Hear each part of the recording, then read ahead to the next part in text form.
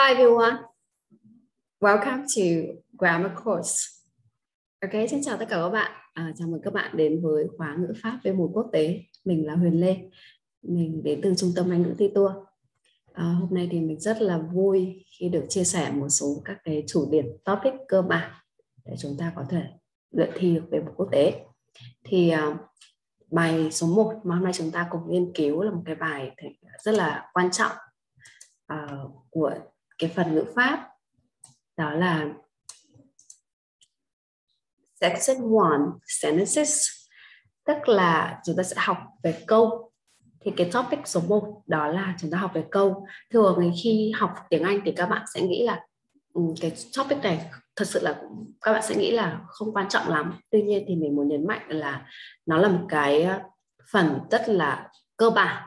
Đó, để chúng ta có thể thành lập được những cái câu uh, hoàn chỉnh câu hay uh, dùng được ngữ pháp đúng thì đầu tiên các bạn phải có câu trước đã. Thì cái câu là một cái thành phần mà chúng ta cần phải nghiên cứu và chúng ta sẽ xem và chúng ta áp dụng vào những cái bài nói bài viết của B1 như thế nào bài đọc của B1 như thế nào. Thì cái phần đầu tiên chúng ta sẽ ờ, topic đầu tiên hôm nay chúng ta cùng tìm hiểu đó là câu. Xin mời các bạn.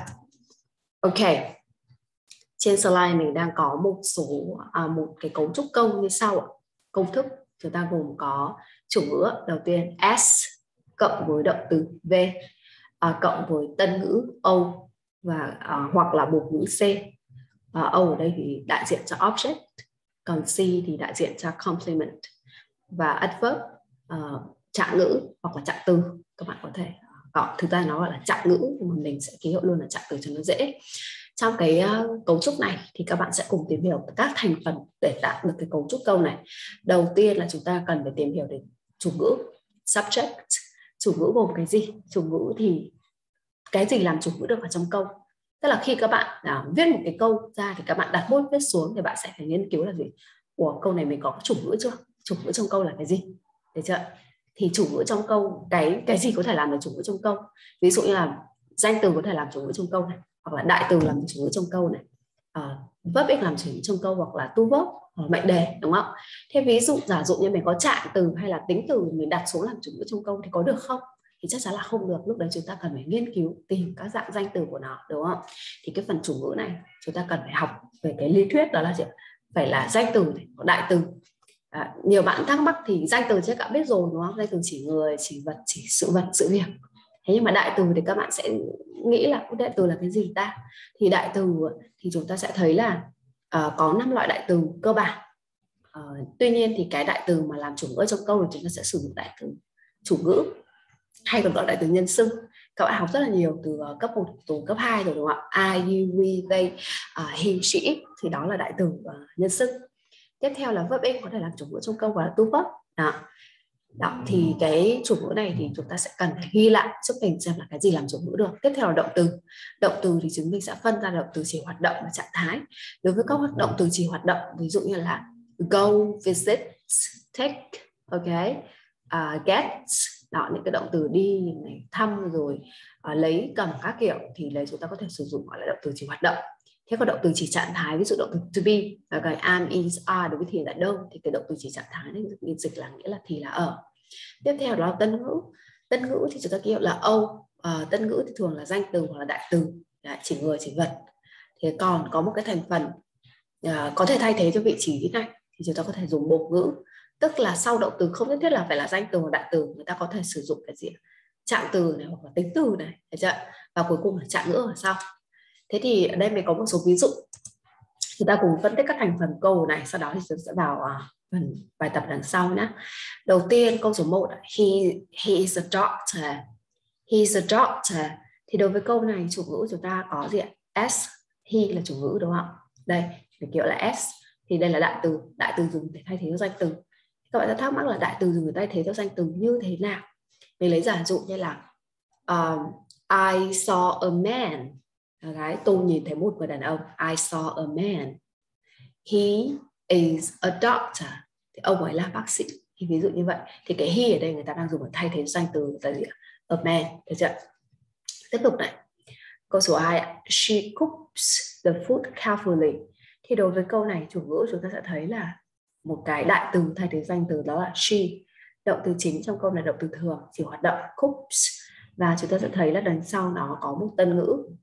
Ờ, à, thường là một cái động từ à, có thể là thường là động từ ngoại động từ thì người ta sẽ cần có tân ngữ ở đằng sau như thế này. Thì người ta sẽ là she cooks the food carefully. Uh, thành phần the food ở đây chúng ta xác định rằng là tân ngữ thành từ.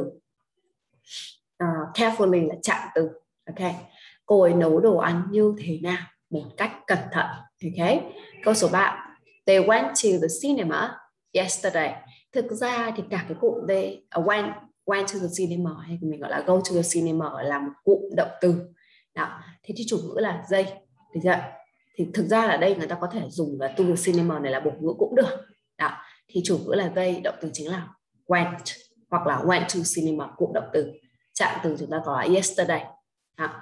câu số 4 đó Peter is handsome. Thì chủ ngữ chúng ta có là gì Peter, động từ chính là to be, is handsome, là gì bộ ngữ. Câu số 5 playing uh, table tennis is interesting. Thì chủ ngữ ở đây chúng ta xác định đây là gì ạ? À, nếu mà chúng ta chỉ nói là play table tennis thì chủ ngữ không chính xác bởi vì play là động từ thấy chưa? động từ thì không thể làm chủ ngữ ở trong câu được mà phải là một cái dạng của danh từ mới làm được chủ ngữ ở trong câu. Dạng của danh từ ví dụ như là danh danh từ ở đây có thể là dùng là verb in. Để thay thế được cho cái diện cho động từ để chúng ta làm chủ ngữ trong câu chúng ta câu là play table tennis à, động từ chính là is.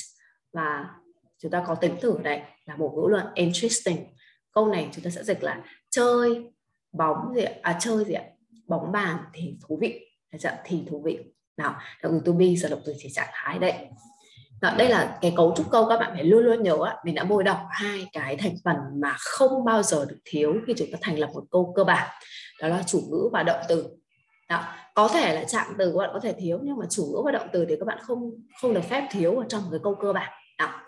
và có những trường hợp thì các bạn thường là uh, có chủ ngữ nhưng mà lại thiếu động từ hoặc là chủ ngữ các bạn viết nó sai thì nó lại không chính xác mình lấy ví dụ như câu này câu số 5 chẳng hạn nếu các bạn bảo là gì chơi bóng bàn thì thú vị mà các bạn viết là play table tennis is interesting. Thì chắc chắn là các bạn bị trừ điểm ngữ pháp, bởi vì play là động từ không thể làm chủ ngữ được. Chúng ta cần phải có một cái gì ạ? Cái danh động từ ở đây. Chúng ta biến động từ về thành danh từ, đó là play table tennis is interesting, ok? Bạn thấy dễ đúng không ạ? Cái phần này nó rất là dễ, nó không quá khó đâu. Chúng ta sẽ cùng xem một số các cái dạng. Ở bài tập nhé bài tập số 1 ạ. Bài tập 1 xác định thành phần của những câu sau à, cấu trúc câu thì mình đã viết sẵn các màu ở đây rồi. Chủ ngữ là màu xanh là trời này động từ là màu đỏ. Tân ngữ hoặc là trạng ngữ chúng ta sẽ à, tân ngữ hoặc bổ ngữ chúng ta sẽ dùng màu xanh lá cây và là trạng từ và trạng ngữ chúng ta sẽ dùng gì màu tím. Number one I want to try these dishes later. Ok câu này chúng ta xác định được chủ ngữ là gì ạ? I được chưa? Động từ chính là wants to try these dishes thì chúng ta sẽ xác định nó là gì bổ ngữ và later là gì trạng từ. Trạng câu số 2 his mom speaks French fluently. Thì chủ ngữ chính trong câu này đó là his mom. Ok? His mom là chủ ngữ, danh từ. Speaks là động từ chỉ hoạt động. Speaks, chia theo chủ ngữ his mom. French ở đây là tân ngữ, ngôn ngữ tiếng Pháp. Fully tức là một cách trôi chảy chạm từ chỉ cách thức. Chúng ta sẽ có câu nào his mom speaks French fluently và cấu trúc gần chúng ta có s v o và adv bạn nhìn thấy không? Tiếp tục ạ. Linda is making coffee slowly. Ok. Linda chúng ta xác định nó là chủ ngữ. Vì vậy nó sẽ là gì thành phần đây là s. Động từ chính đây là is making. Ok make đặc chia thì hiện tại tiếp diễn. Vì vậy nó có cái dạng verb in như này to be cộng verb in is making. Và động từ chính ở đây là chúng ta dùng là make làm cái gì đó. Thì đây là ý dịch là pha cà phê coffee tần ngữ. Slowly tức là gì trạng từ hoặc là trạng ngữ. Thì còn Linda is making coffee slowly. À, okay, đây là một dạng câu đúng. Tiếp tục ạ. Living in the countryside is more peaceful thì chủ ngữ ở trong cái cụm này chúng ta sẽ thấy cả cái cụm living in the countryside sẽ làm chủ ngữ trong câu. Động từ chính là động từ chỉ trạng thái, chúng ta sẽ dịch là thì như thế nào? More peaceful peaceful là tính từ vì vậy nó sẽ thuộc dạng bộ ngữ. Câu này chúng ta sẽ có chủ ngữ như sau. Living in the countryside is more peaceful và living in countryside, mùi màu xanh, chủ ngữ. Động từ chính, to be, trạng thái, more peaceful chính là chủ ngữ. Câu số 5 he is very angry. Okay, he's very angry. Câu này chúng ta sẽ thấy là chủ ngữ là he, động từ chính là is. Đây là động từ chỉ trạng thái đúng không? à, chủ ngữ là he. Chúng ta sẽ xác định nó là gì ạ? Đại từ thay thế danh từ. Uh, very hungry là một ngữ. À, he is very hungry. Easy? Okay bài số 2 chúng ta sẽ thấy ở đây ạ à và mình còn có một số câu nữa câu số 6 ạ. Peter went to school by bus yesterday. Chúng ta sẽ thấy cả cái cụm đầu tiên chúng ta sẽ xác định được danh từ riêng Peter làm chủ trong câu. Tiếp theo là động từ chính là went. Hoặc nếu các bạn cẩn thận hơn thì các bạn có thể là diện dịch chúng ta dùng cái cụm là go to school là cụm động từ. Thì chúng ta dùng nó như là một cụm động từ thì cả cái chỗ này các bạn môi đỏ giúp mình nhé went to school by bus. Của ngữ yesterday là trạng từ ok trạng từ chỉ thời gian. Tiếp tục ạ. Reading books is my hobby. Chúng ta sẽ thấy trong cái câu này, người ta sẽ dịch là đọc sách thì là sở thích của tôi. Thì cái việc đọc sách, nếu các bạn để là read books thì chắc chắn câu sẽ sai. Bởi vì là cái chủ ngữ chúng ta không thể là read books được, mà các bạn phải đổi nó về thành danh động từ verb in. Rồi là reading books làm chủ ngữ. Is my hobby. Động từ chính là gì ạ? Is. Ok. Động từ chỉ trạng thái. My hobby là từ ngữ. Câu số 8 ạ. She spends two hours a day playing piano. Chúng ta sẽ đẩy cụm từ spend cộng với lại thời gian hoặc tiền bạc thì chắc chắn sẽ đi với verb in. Chúng ta sẽ không để là to verb nhé. Các bạn hay đẩy hay nhầm là to verb. Chủ ngữ là she, vậy rồi trên động từ là spends. Okay she spends two hours a day playing piano. Chủ ngữ là she. Đại từ thay thế danh từ. Spends động từ chính. Two hours a day. Thì chúng ta sẽ dùng cả cái cụm này. Các bạn sẽ dịch nó là gì? Sẽ dùng đặt tình huống đây là bổ ngữ. Đặt cái từ loại của cái cụm này là bộ ngữ. She chủ ngữ động từ chính là spend và bộ ngữ cả cụm này. Câu số 9 ạ. John hates driving in heavy traffic on the way on the way to work. In the evening câu này chúng ta xác định đầu tiên là John là chủ ngữ đúng không? Hates là động từ. Driving in heavy traffic on the way to work là cả cái cụm này tức là gì ạ? À, bổ ngữ được chưa John rất là ghét cái việc lái xe trong cái tình huống là gì giao thông rất là gì? Dày đặc hay nặng chúng ta từ heavy nặng như ta thể hiểu là gì? Tắc đường này, trên đường đến đến ờ, chỗ làm này thì rất là gì? Tắc thì anh ta rất là ghét cái việc lái xe trên cái con đường tắc đó, đến cái chỗ làm. Vào buổi sáng in the morning, in the morning là chạm từ chỉ thời gian. Câu số 10 he failed the ex final exam because he didn't make any preparation for it. Trong tình huống này chúng ta thấy có hai câu. Thực ra là nó có hai câu đơn được uh, nối với nhau bởi một cái liên từ chỉ uh, lý do. Thế thì đối với câu đầu tiên chúng ta sẽ dịch dùng là chủ ngữ là he, động từ chính là failed, chia động từ quá khứ đấy đúng không? The final exam. Tiếp tục because là liên từ nối. Tiếp tục chủ ngữ là he didn't make động từ chính any preparation for it. Đây là một ngữ đó. Rồi. bài số 1 gần như là đã xong. Các bạn sẽ thấy là nó cũng không, không quá khó đúng không? Thì bây giờ mình có thể là à, chúng ta dở sát và chúng ta có thể tìm một số các cái uh, bài tập rất đơn giản. Chúng ta xác định các thành phần câu này. Mình bây giờ các bạn sẽ thắc mắc là làm sao chúng ta biết nó là tính từ hay làm sao chúng ta nó biết là danh từ hay động từ thì các bạn sẽ chịu khó tra từ điển giúp mình nhé các bạn có thể tra từ điển. Uh, trên điện thoại hoặc là từ điển trên máy tính bạn có thể tra từ điển anh anh anh việt tùy chúng nó đều có thể có những cái từ loại ra cho các bạn xem. Đấy, chúng ta sẽ trả lời các câu hỏi sau và xác định các thành phần trong câu trả lời. À, đây là một số dạng câu hỏi của đề B1 chẳng hạn. Thì đầu tiên để trả lời những câu hỏi như này thì các bạn cần phải xác định các thành phần cơ bản đã. Ví dụ như là what do you do in the morning? Thì đây là câu hỏi người ta dịch là gì? chúng ta dịch là uh, bạn làm gì? Bạn thường làm gì vào buổi sáng hay bạn làm gì vào buổi sáng đúng không? Thì chúng ta sẽ có một số các câu trả lời. Thì để đầu tiên để mà trả lời được hay thì đầu tiên phải trả lời đúng đã. Đúng các cái thành phần cơ bản câu đã. Chúng ta cứ thành lập các câu đơn sau đó chúng ta nối ghép với nhau tạo thành cái câu trả lời dài và hoàn chỉnh hơn. Thì lúc đó là cái điểm của bạn sẽ cao. Còn bây giờ là mình sẽ chỉ dùng những câu đơn trước các bạn sẽ cùng phân tích nhé. I often make breakfast for my family maybe in the morning. Các bạn có thể cho thêm in the morning là sau nữa nhé I often make breakfast for my family in the morning. Đó. thì ở đây mình xác định chủ ngữ là gì S là I. Động từ chính là make breakfast for my family là gì bổ ngữ. Nếu các bạn cho thêm trạng từ in the morning ở cuối này thì chúng ta sẽ hiểu nó là trạng từ thời gian. Tiếp tục ạ. I usually do my homework in the morning. À, cũng tương tự chủ ngữ là I. Tôi thường làm bài tập về nhà vào buổi sáng mình vừa buổi chiều đi học ví dụ thế bạn đã giải thích thêm là cái phần sau. Thì mình đang muốn là các bạn thành lập một cái câu nó hoàn chỉnh và cơ bản là đúng đã. I usually đây là trạng từ chỉ tần suất đặt trước động từ thường để bổ nghĩa cho nó. Uh, do my homework thì do là động từ chính. My homework là là tân ngữ hay còn gọi là gì bổ ngữ ở đây. Tiếp tục ạ. Để chúng ta có thể ờ, ghép được cái câu hoàn chỉnh và điểm và nó tốt hơn thì chúng ta sẽ nhìn cái câu như này nếu mà cái câu đơn chúng ta, đầu tiên là câu hạt nhân chúng ta làm ok rồi, chúng ta ghép vào câu chính này. I often make breakfast for my family in the morning. After that, I do my homework until noon. Ok? Tôi thường là gì ạ? Làm bữa sáng cho gia đình tôi vào buổi sáng. Sau đó thì tôi làm bài tập về nhà cho đến trưa. Thì đây là một cái câu trả lời đã hay hơn rất là nhiều so với hai cái câu bên trên. Hai câu bên trên là hai câu hạt nhân, hai câu đơn. Bây giờ ta ghép lại thành đây, chúng ta thấy là có tiếp tục mình sử dụng một lên tuyệt đối after that ở đây làm cho cái câu trả lời của mình nó hay hơn. Và mình cho thêm trạng từ thời gian vào thì cái câu của mình nó rất là hay rồi. Nếu như câu bình thường các bạn không có trạng từ thời gian thì câu sẽ không được hấp dẫn. Thì chúng ta cho thêm trạng từ thời gian và trạng từ chỉ tần suất vào thì cái câu nó rất là hay. Câu số 2 What do you usually do with your friends? Bạn thường làm gì với bạn của mình? Cái bạn thường làm gì với bạn của mình này thì chúng ta sẽ có một số gợi ý đấy. Chúng ta nhìn đầu tiên. My friends and I often go shopping.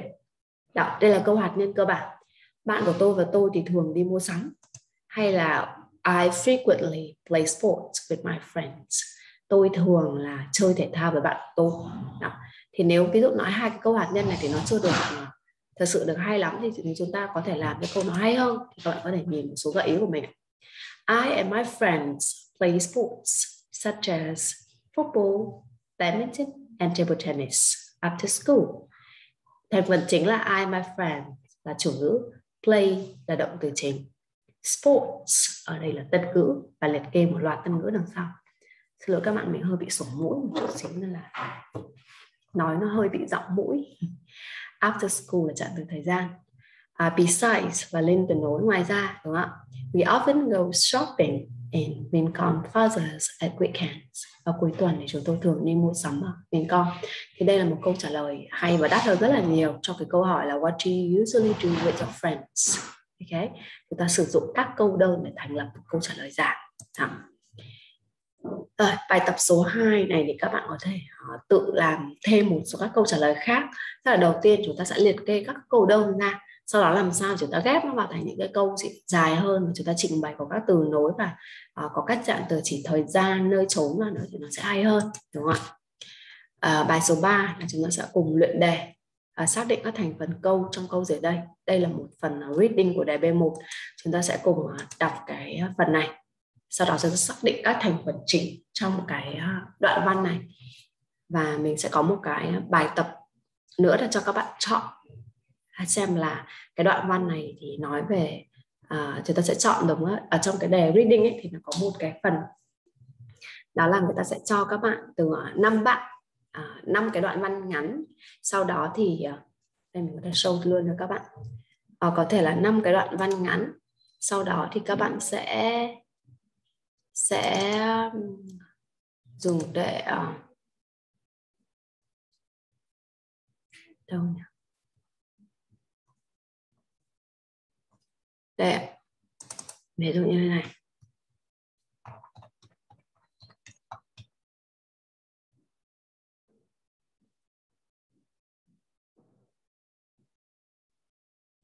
Và reading đề này đề từ năm 2020 nhá.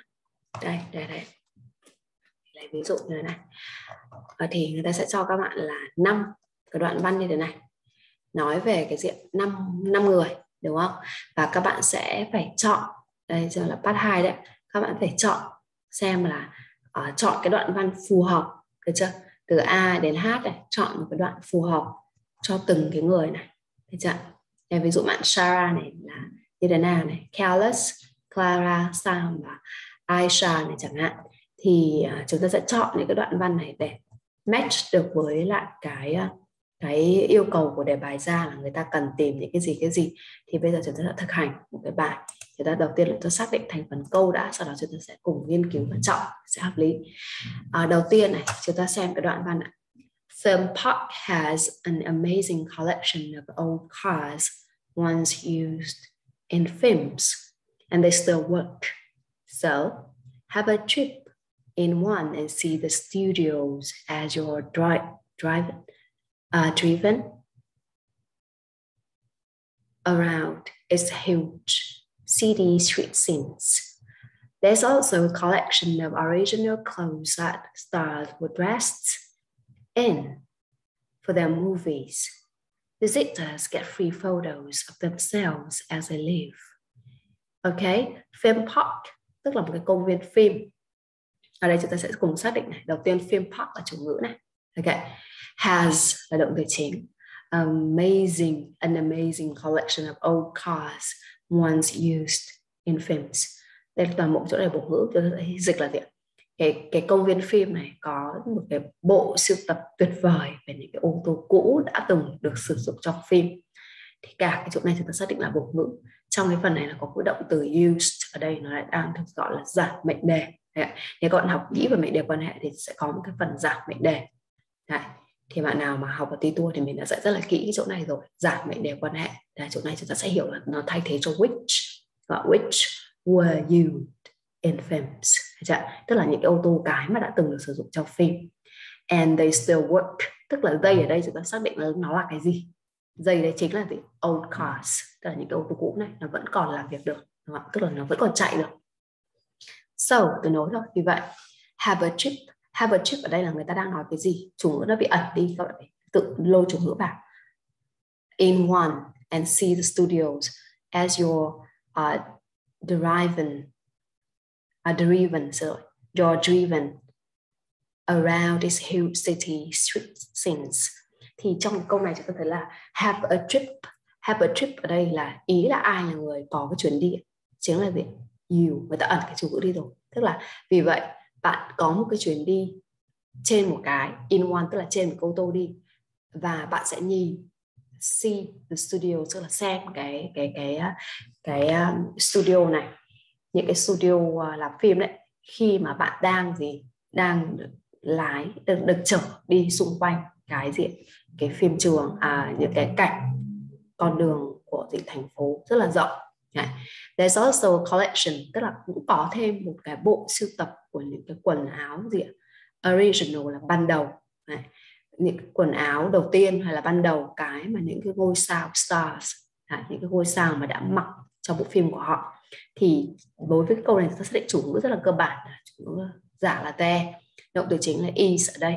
Và cả cái đằng sau này chúng ta sẽ xác định nó là là gì chúng xác định là tân ngữ. Cái tân ngữ chính là a collection of original clothes. Còn cả cái đoạn that stars were uh, that stars were dressed for dressed in for their movie thì cả cái chỗ này nó được gọi là mệnh đề quan hệ. Để chưa? mệnh đề quan hệ that đây này. Đây, mệnh đề quan hệ. Đây là đại từ quan hệ that đây. Để để bổ sung ý nghĩa cho cả cái cụm này. Thế là người ta đang nói là gì? Có một cái bộ siêu tập quần áo cổ quần áo đầu tiên. Thì cái quần áo cổ đấy nó như thế nào? Thì là cái mà những cái ngôi sao đã từng mặc trong bộ phim. Thấy chưa? Visitors get free photos of themselves as they leave. cái ý thứ ba này chủ ngữ là visitor là những cái người đến thăm. Get là động từ chính đúng không ạ? Nhận cái gì? Free photos of themselves. Free photos tức là những cái bức ảnh miễn phí của chính bản thân họ. As là lên từ nối các bạn phải tra từ điển xem nó là cái gì. As là khi bằng với when. Uh, they live chủ ngữ là they và động từ chính là live as they leave là khi họ rời đi. Ok? Thì chúng ta sẽ dịch nôm na như này có ba ý ở trong cái đoạn văn này. Đoạn ý thứ nhất đó là cái phim park là cái công viên phim này có một bộ sưu tập các ô tô cũ và nó vẫn có thể làm việc được. Và các bạn có thể là đến cái ờ, cái cái, cái uh, phim park này cái công viên này lên ờ, có một chuyến đi tham quan cái studio của họ và xem những cái con đường rất là gì rộng các cảnh con đường rộng là ý thứ nhất ý thứ hai là có một bộ sưu tập quần áo mà được các ngôi sao đã từng sử dụng trong bộ phim. Cái thứ ba là sẽ được nhận cái gì bức ảnh miễn phí của họ khi họ về. Thế đó. Rồi, chúng ta sẽ cùng xem à, xem là chúng ta nên chọn bạn nào trong hai bạn này nhé giả dụ như mình có hai đoạn như thế này. Theo các bạn thì chúng ta sẽ chọn cái gì nhá? Đầu tiên này, Ingrid is interested in seeing costume that famous actors have worn and she'd also like to ride on a vehicle that originally appeared in the film. Ingrid's mom wants a souvenir to remember their trip. Ok, thứ nhất chúng ta sẽ thấy là trong này có cái, cái chủ ngữ chính là gì? Ingrid là chủ ngữ chính, cái cô này. Is động từ chính này interested in đây là tính từ tính từ interested cộng với phụ giới từ y, sau đó verb in và see custom thì là cả cái cụm này chúng ta sẽ hiểu là is. Cái này là tân ngữ cái thằng in này thôi. Nhưng mà cả cái cụm này trở thấy là gì? Nó là bổ ngữ. That famous actor have a wound. Thì cả cái cụm này cái mà những cái diện diễn viên nổi tiếng đã từng mặc ấy, thì cái that này, này nó thay thế cho custom ở đây là trang phục. Uh, Ingrid thì thích xem những cái trang phục cái mà những cái diện diễn viên nổi tiếng đã mặc. Đấy. and và cô cũng thích lái thì would like to ở đây là cụm động từ đấy. Sau động từ chính là ride. Dạ, cả cụm là to ride on vehicle that originally appeared in the film. Thì cả cái cụm này là bộ ngữ. Thì cô cũng muốn là gì ạ? Lái trên một cái phương tiện, cái mà đã từng được sử dụng ở trên phim. Đây là ý thứ hai. Cái thứ ba này, Ingrid's mom, tức là mẹ của bạn này, thì muốn có một món quà để có thể, món quà đồ lưu lưu niệm này để nhớ chuyến đi của họ đấy là cái bạn thứ nhất, chúng ta sẽ xem là bạn thứ hai như thế nào nhé xem là hai bạn này thì bạn nào match với cái đoạn văn chúng ta vừa đọc lúc trước Tom wants to look around the studio at his own speed and visit the actor sets where films were made His mom wants to see online what the studio is like before she buys tickets. Thì cái ý thứ nhất là gì ạ? Tom này, chủ ngữ là Tom, động từ chính là wants. Và to look around the studio at his own speed là tân ngữ. À, xin lỗi, là bổ ngữ ạ. Thì chủ ngữ đây là Tom, động từ là muốn, đúng không ạ? Tom, Tom muốn nhìn xung quanh và đi xung quanh cái studio này với cái tốc độ quái tản và thăm những cái khu và diễn thật tức là cái khu mà diễn thật đấy cái nơi mà phim được thực hiện mẹ của anh ta thì lại muốn xem online trước studio nó trông như thế nào trước trước khi mà bà mua vé thì hai cái bạn này các bạn sẽ thấy là ai sẽ là người gì à, ai sẽ là người match với cái đoạn văn hơn? Đây tôi sẽ quay lại. Bạn Ingrid bạn Tom ở đây. Đó. và đây là cái đoạn văn thì đây là một bài đọc hiểu của B1 mình đang uh, vừa lồng ghép cái phần ngữ pháp của các bạn và lồng ghép cái phần làm reading. Các bạn đã thấy ở đây nếu trong hai cái đoạn văn này thì chúng ta sẽ thấy là chúng ta sẽ nên chọn bạn A chọn Ingrid bởi vì sao? Bởi vì là chúng ta sẽ có có ba ý nó match với với cái đoạn văn. Đầu tiên là cái đoạn văn người ta bảo là uh, bạn Ingrid này muốn xem cái các trang phục mà các cái diễn viên nổi tiếng đã mặc thì đó chính là cái ý thứ hai của đoạn văn này. Collection of original clothes that star were dressed in their movie mình đã in nghiêng cái trần đây cái thứ hai là bạn đã muốn lái một cái phương tiện cái mà đã từng xuất hiện ở trong phim. Thì xuất hiện ở trong phim chính là cái ô tô mà ô tô cũ đã từng sử dụng ở trong phim mà nó vẫn làm việc đấy vẫn có thể hoạt động được đấy. Still work này này. Thì cái đoạn này chính là ý thứ hai của đoạn bạn Ingrid. Và cái thứ ba là à, mẹ của bạn ấy muốn là có một món quà lưu niệm mang về. Thì món quà lưu niệm ở đây chính là những cái tấm ảnh miễn phí của họ. Đó. thì cái bài này à, chúng ta sẽ thấy là nó cũng khá là đơn giản đúng không? Chúng ta đọc lên chúng ta sẽ thấy là à, các cái câu từ này nó cũng không quá là phức tạp.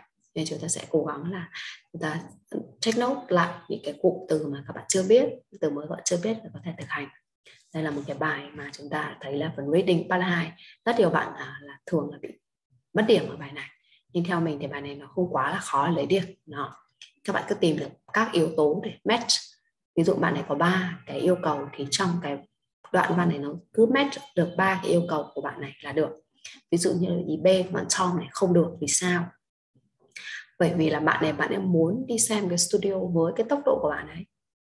Thế thì nếu có thể chúng ta cứ dịch tạm thời là bạn này bạn ấy có thể được sử dụng cái ô tô ở đó và uh, đi với cái tốc độ của bạn ấy. Thực ra trong cái đoạn này người ta không nói gì đến đến tốc độ của bạn ấy cả.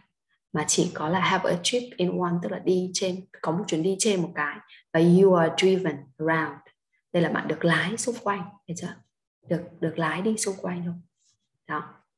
Thế còn tiếp tục này.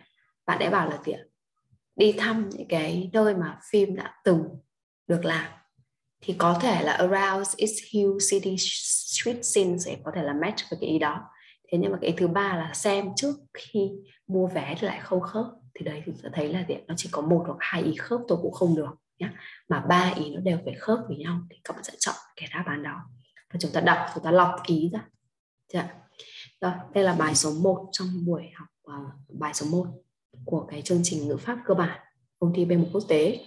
Nếu các bạn có câu hỏi gì thắc mắc thì các bạn có thể comment ở dưới và các bạn muốn mình chia sẻ cái phần ngữ pháp nào của B1 thì các bạn cứ comment vào. Mình sẽ làm video tiếp theo nhé. Uh, à, goodbye and see you again.